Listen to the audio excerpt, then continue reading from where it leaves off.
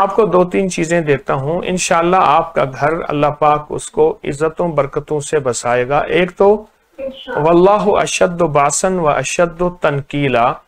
इसको इतना पढ़ें इतना पढ़ें सैकड़ों हज़ारों लाखों हर हाल में और बहुत ज़्यादा पढ़ें। एक तो इस वजीफे को बहुत ज़्यादा पढ़ें। वल्लाह अशद बासन व अशद तनकीला। और दूसरी चीज़ ये है कि सुबह शाम आप 40 बार आयतल कुर्सी पढ़ें। 40 बार सुबह 40 बार शाम। और आखिरी चीज़ ये है कि अपने मियाँ का कपड़ा कोई कमीज सामने रख के, मियाँ का कमीज या कपड़ा सामने रख के सिर्फ़ एक तस्वीर दिन में पढ़ लिया करें, या लतीफ़ो या वदूदो। या लतीफ़ो या वदूदो, वो धुली हुई कमीज हो, जो उन्होंने पहननी हो, या बुनियान हो।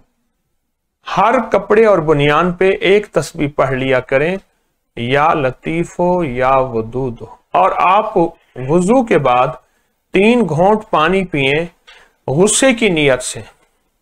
आप ये कर लें, अल्लाह पाक आपके घर को इनशाला सादतों और बरकतों का ज़रिया बनाएगा।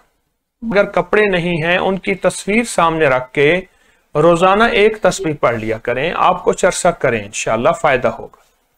इनशाला मैं दुआ करूँगा।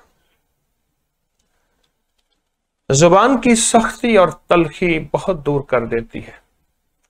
औरत समझती है, ये मेरा हक है और वाकई उसका हक है। लेकिन मर्द फिर घर से दूर होता है। जब घर से दूर होता है, फिर उसको नए चेहरे नज़र आते हैं।